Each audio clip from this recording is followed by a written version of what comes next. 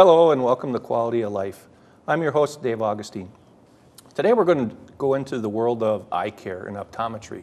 And helping us go into that world is Dr. David Kisiolek from Kisiolek Eye Center. Welcome, Dr. Kisiolek. Thank you, David. Uh, pleasure to be here. Great to have you on the show. Um, in terms of your background in education, could you give us a summary of you know what you all went through to to your current you know status?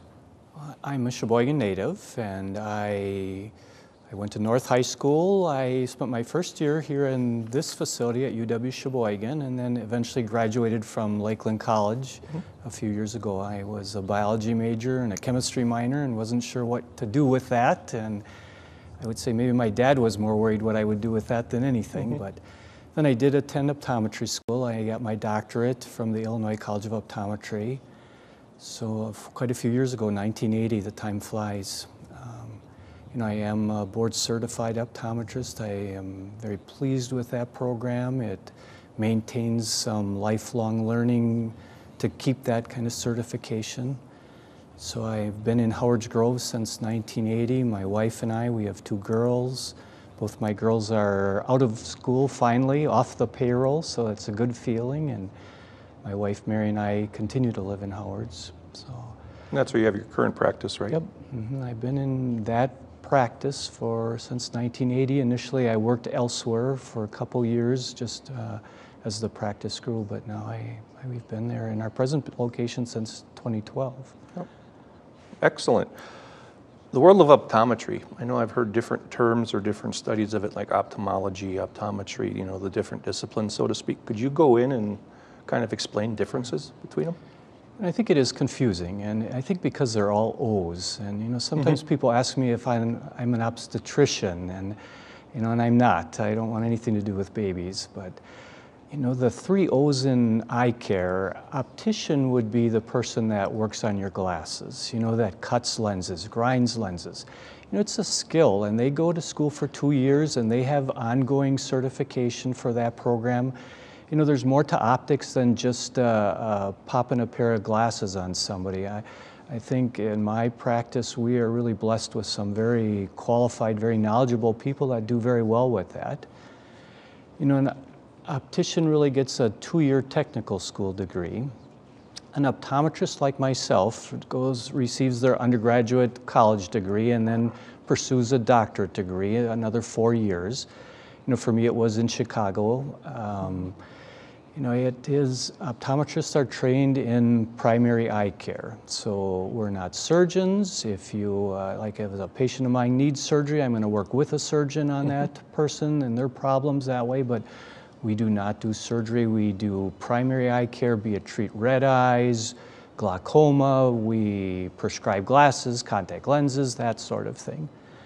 An ophthalmologist is the next step up the ladder, let's say, and that would be someone that did their four years of undergraduate college, bachelor's degree, attends medical school for another four years, and then chooses a, chooses a residency in ophthalmology, which is a three-year after their MD degree, specializing in eye diseases, eye surgeries. That's really the person, if, if you need cataract surgery, that's very mm-hmm. likely the person that you're gonna see.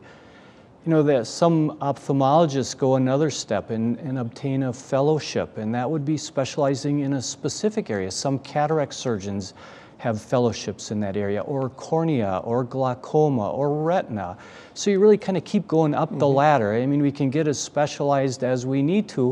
You know, and we're really blessed, I think, in our area that we have such uh, quality referral people uh, and the glaucoma and the cataract side of things. It's rare that I need to send somebody to Milwaukee or Green Bay because those specialists are right here amongst us.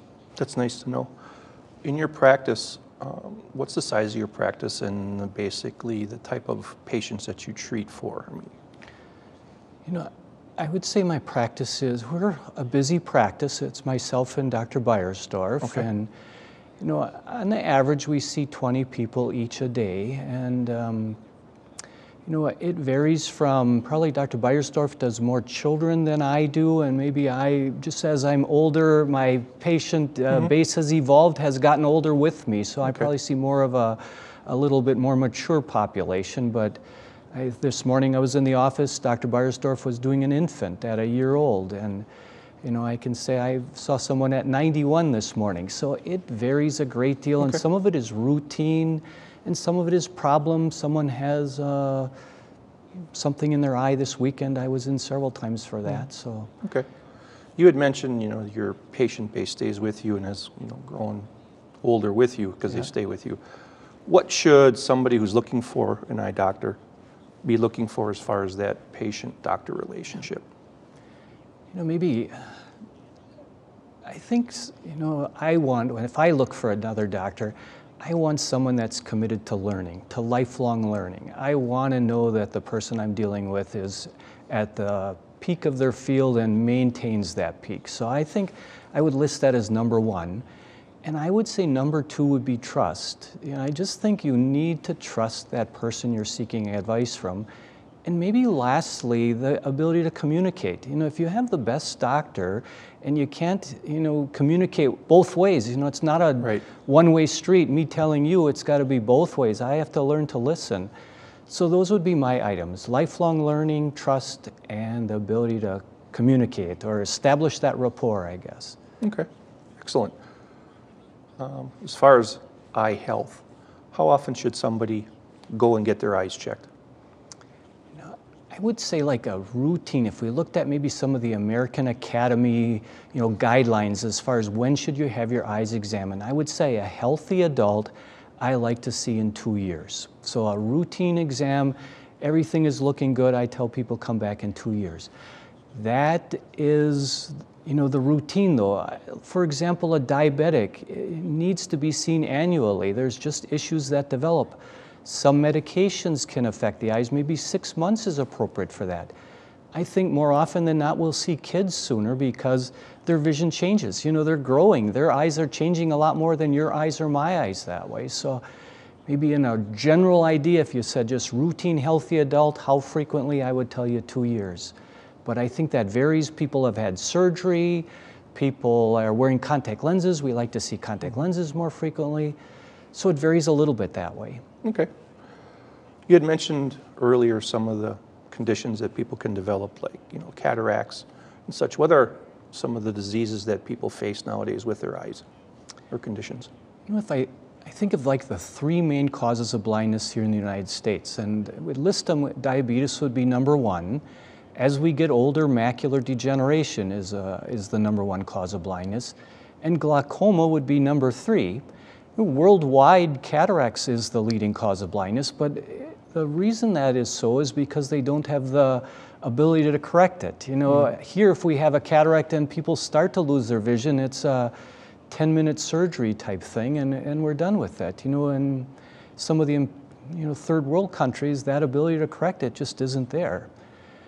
You know, it, diabetes is, you know, a, a- an epidemic, is- unfortunately. Mm-hmm. And, you know, I, I would say a day doesn't go by that we don't see diabetics in the office. And I like to tell my diabetics that the tighter they control their blood sugar, that A1C that stays around six or less, I don't see eye problems. But when that gets away on them, they're going to suffer that way. So there's a lot of you know as healthcare evolves and as optometry evolves i think the communication between family doctor optometrist uh, specialist just continues to evolve you know i, I would say uh, you know unfortunately a lot of my time is spent writing letters you know dictating letters to primary care physicians saying so and so was in and his eyes look great or, or they don't look so good Right. you know, macular degeneration. You know, if you think of our elderly people, nothing would affect retirement like losing your vision, losing your driver's license, mm-hmm. losing the ability to read a paper. You know, that- just a terrible, terrible disease. And we're getting to that point in the 30 some years that I practice, we finally have some things that they maybe don't sound the best, but injections into the back of the eye that can not only prevent the progression or slow the progression, actually reverse it and give people their vision back. So, you know, it's been a really exciting mm-hmm. area that way. Glaucoma, if there's a danger on glaucoma, as we talk about the third one, it's that there really aren't symptoms. You know, I can, I can tell you if you're diabetic and you're starting to have macular edema, you're going to have some visual if, issues. You're going to complain a little bit.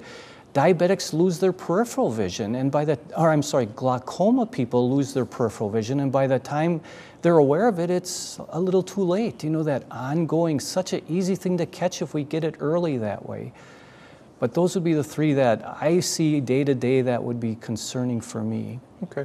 Just a little bit more definition for our viewers. Could you go into how does diabetes affect the eye, glaucoma, macular degeneration, and cataracts other than the car that Catwoman drives? Okay. I had to bring that in there. It's a little funny. Come on. We, um, well, diabetes, you know, in a nutshell, maybe, and maybe there's nothing simple, but the blood vessels inside your eye like to hemorrhage or bleed mm-hmm. in diabetes, and that causes some swelling in the back of the eye, and that causes some loss of vision. So, you know, I think as eye doctors, we want it helps the primary care person know that their present treatment is good. If I can write back and say this looks perfect, their insulin is working well, or it doesn't look so perfect. Or if there are problems in the retina, then to be able to refer to that retinal specialist, that fellowship trained person, that they can do some aggressive treatment with that to prevent them losing vision. You know, macular degeneration is one of those things that we're not, we don't know the cause, you know, and that's kind of scary. You'd think, well, if it's a cardiovascular problem, you could say, well, then diabetics are going to have more macular degeneration than otherwise, you know, than the normal population, and that's not true. So we used to tell people there were three risk factors in macular degeneration, and one of them was getting older. The older we get, the more problematic that becomes.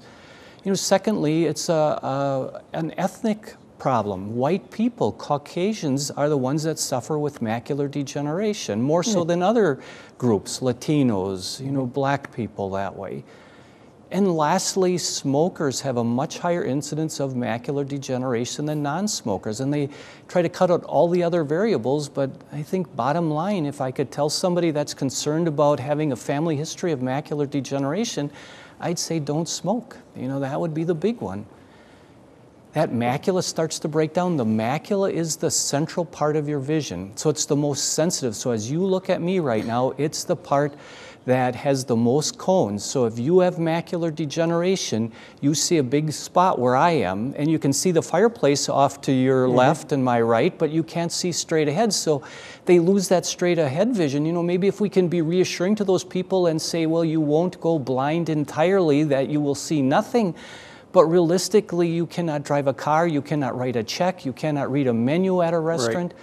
You know, and they're doing some nice things if we get that early diagnosis. People that have had macular degeneration for some time, that injection is not a cure-all. If, you know, I don't want this to, someone to see that and say, well, I've had macular disease and I can't see, and now I'm going to go in and see a retinal person and they're going to fix it because that isn't the case. Right. We need to get it early that way. So, so that's a struggling one.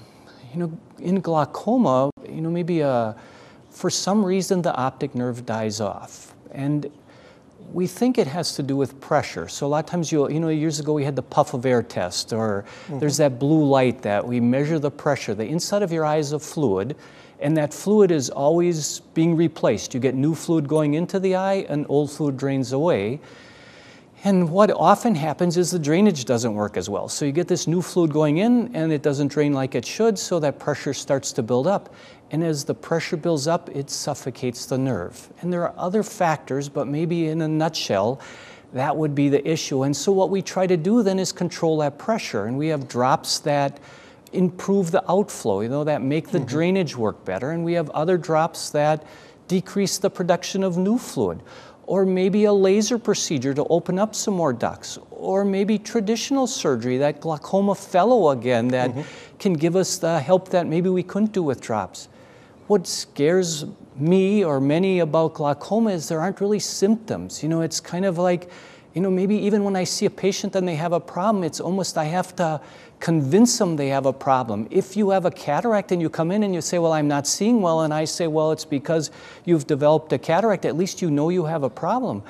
If I say you have glaucoma and you say, Well, geez, I'm just here because I scratched my glasses, you know, it, Right. it's a little bit more of a, a, a understanding. Maybe again, going back to that communication, you know, I have to make sure you understand what we're talking about and why we need to do something.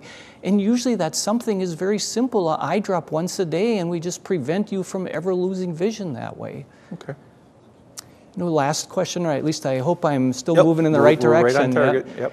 Cataract wise, you know, cataracts form right behind the iris. The human lens, like when you and I were children, that lens was crystal clear perfect, you know, and it would be like looking right through a sheet of crystal clear glass. But as time goes on, that glass hazes a little bit. It gets foggy. It mm-hmm. turns a little yellow that way. And if it gets bad enough, we start to lose vision on it that way. So that lens starts to break down. You know, a lot of thought about ultraviolet light being a big factor that way. Some medications can be a factor, but probably if you said, if you said to me, what's the leading cause of cataracts, I would say birthdays. You know, we're getting older. Right. And the second leading cause I would say would be ultraviolet light. So cataract wise, you'd have blurred vision. You know you have an issue that way. You know, sometimes we can correct it with glasses. I tell people cataracts aren't an emergency situation. You know, it's not like, well, let's take it out now while it's little. You know, we take it out when it affects the way you live. Sure. You know, if you have a little cataract and we say, well, it's there, maybe your vision isn't quite 20/20, but it doesn't really bother you, we're just going to watch that. And I think that's what I would do for my own eye. On the other hand, if you said, I'm a truck driver and I'm having more trouble with glare at night because of that little cataract, I don't know of a surgeon that would say no to you that way. We take it and we go. Okay. Thank you for clarifying those, I've always wondered about, you know, the differences and how they're affected, because I know when I go in and do the test, you say, oh, this looks good, that looks good, but now it kind of rounds the circle as far as, you know, what that really means, so thank you for that. Um, As far as symptoms, you know, what types of symptoms could someone be experiencing if, you know, their eyes are starting to, you know, go in the wrong direction, so to speak?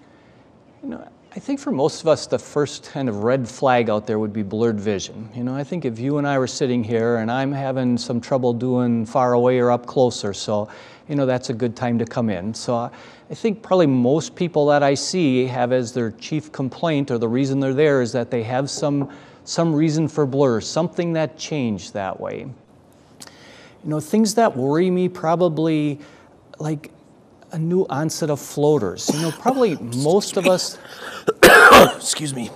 most of us occasionally see floaters, you know, and, mm-hmm. and I would say an occasional floater that's been there for years doesn't bother me a great deal. But when people call the office and say, I have a new, I'm seeing spots out of one eye, and maybe sometimes they're seeing lightning bolts or so, that's an emergency. If you ever want to get into an eye doctor in a hurry, you tell them you're seeing floaters or flashes, and if they don't see you that day, you don't want to go there anyway, okay? Gotcha. So floaters that change are a scary thing. Blurred vision always makes us think. Uh, double vision is, you know, uh, double vision is. Um, if you said to me, well, what are the leading causes of double vision? And I, I would tell you diabetes and thyroid disease. Those are the two. If someone comes in and says, I'm watching TV and I see two TVs at night, those are the ones that come to the top of my list. I mean, it could be other things. You could have a stroke, there could be a tumor, things like that. But number one and number two are going to be diabetes and thyroid disease that way.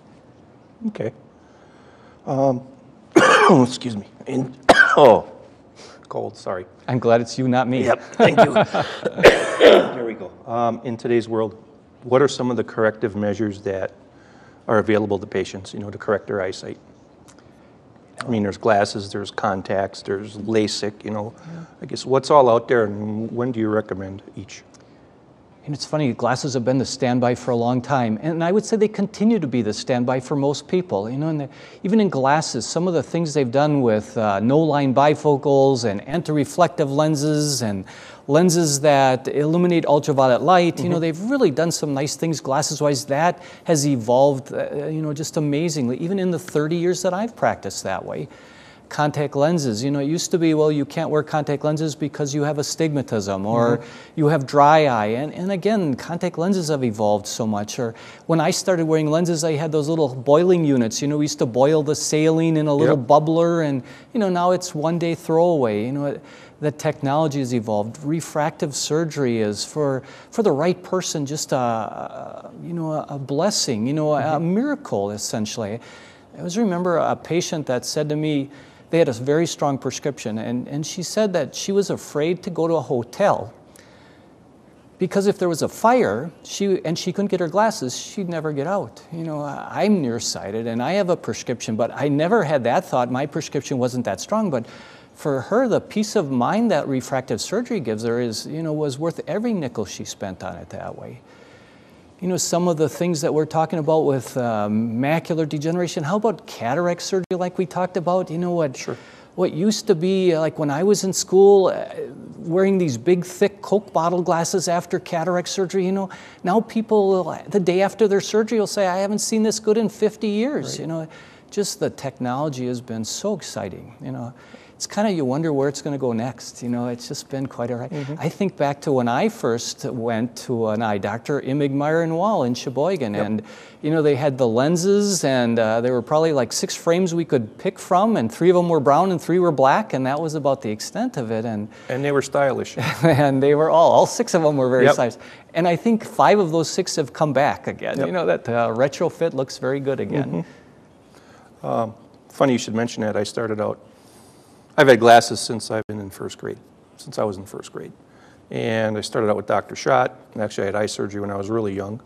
And then went to Emig Meyer and Wall, so and so, and now I'm with um, your establishment as well. And throughout the years, I've had glasses, I've had contacts, and then finally, a few years ago, I had LASIK surgery, which I know we didn't agree at first, but to me, it turned out really well as far as how my case went, you know, as far as that goes. And to me, it's a blessing with the LASIK, you know, as far as I can see, because I'm always active outside or hunting, and first thing, my glasses would always steam up or whatever, you know, sitting there and whatever else. So, I mean, to me, it really helped. You know, again, maybe going back to any individual, it does, you know, everything is limited, in- including mm-hmm. glasses and contact lenses and refractive surgery. There's, you know, I can't say there's the perfect correction. You know, nothing we have is quite as good as, as perfect, let's say. But, you know, to approach any of those, including refractive surgery, and say, well, I'm willing to have surgery and continue to use reading glasses is certainly, uh, you know, for that right person. Again, for that female patient of mine, to give her the comfort to go to a hotel room. You know, I mean, that's just, uh, you know, uh, I think it's harder to do certain corrections. Just be, you know, at one point we only did nearsightedness in mm-hmm. refractive surgery. That was all it was done. And then they started to do farsightedness. And then we started to do nearsighted and astigmatism. And then finally the farsighted and astigmatism issues. And, mm-hmm. you know, at some point, you know, we'd be foolish to say that we won't be able to get rid of the reading glass issue. You know, at some point to say that option should be there. And we're just not quite there yet that No, way. I would agree because I had the surgery. When I first had it, everything was crystal clear. I could read the serial number on a dollar bill. But as the age kept up, you know, here we are. I've yeah, got them as well, so there they are. You know, as far as that goes, and that's the biggest thing I've noticed. But even still, if I have to wear cheaters, Right. that doesn't bother me. You're still hunting and all the rest Yep. of it without it. Yeah, Yep, absolutely. exactly. Maybe realistic expectations. You know, maybe as a primary care person to say that something that we need to make sure people have those, you know, not to sell anything, but to make sure people make a, good informed choice that way. Mm-hmm. Respect to eye care and eye health. Is there something that people can do to help promote their health? You know, like you go to a general physician, obviously they say keep your weight down, so the blood pressure's down and diabetes. Does that all apply to your eyes as well, or is there other things that people can do to help promote, you know, their eye health? You know, think on my, what I like to tell patients is that what's good for your heart is good for your eyes. So if you think of anything diet-wise that's good for your heart and your cardiovascular system, it's good for your eyes as well. And I wish I had a magic vitamin. You know, I mm-hmm. wish I could say if you take vitamin such and such, that is going to be the best thing for your eyes. But unfortunately, that has not been established that way.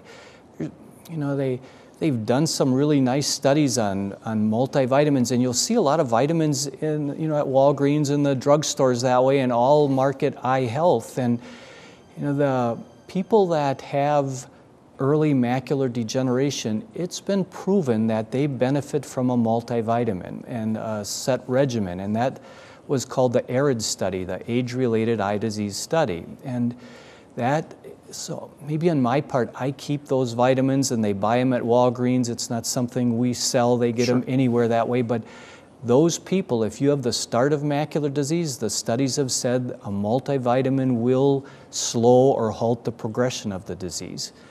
And that same study took other people and it looked for cataracts and said, well, if we put a patient that has the start of a cataract, will that slow or halt the progression? And the answer was no.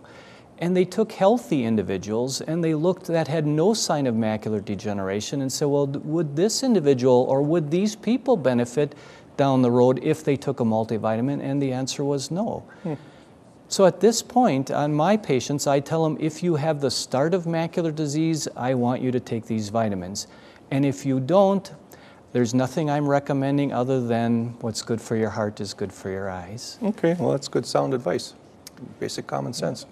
One of my favorite vitamin stories, and maybe I'm getting off on a tangent, and, but you know, I still get people that'll come in and talk about bilberry tea. And they drink bilberry tea because it improves their night vision. And I think that's a very interesting, you know, concept. And I, you know, there's not a lot of research behind it, but during World War II, the British pilots were always drinking bilberry tea before they would go up on their night missions over Germany. And the British pilots had an outstanding success rate. And the British Secret Service essentially sent this propaganda out that why their pilots did so well was because they drank so much bilberry tea.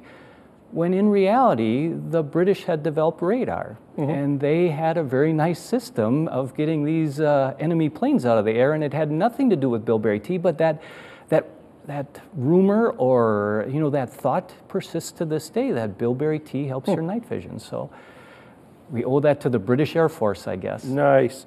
Well, today's medicine is based on, you know, the cures of years ago where all you had was roots and herbs and whatever else. I mean, that's where today's medicine has come from. You know, and we're learning as we go too. Mm-hmm. You know, I don't argue with people that, that want to take bilberry tea. You know, I think, or vitamins in general, because I think next year it may say a whole different thing. You know, It- we're learning, just like you mm-hmm. said. I think it's really interesting that medical schools, many medical schools right now have, in, as part of their curriculum, food. You know, as in food being a drug. You know, and this mm-hmm. is just as much a drug as your lisinopril or your uh, Mevacor or whatever that mm-hmm. way. But what we eat has got a lot more to do with things than than what we ever realized possible that way. Excellent.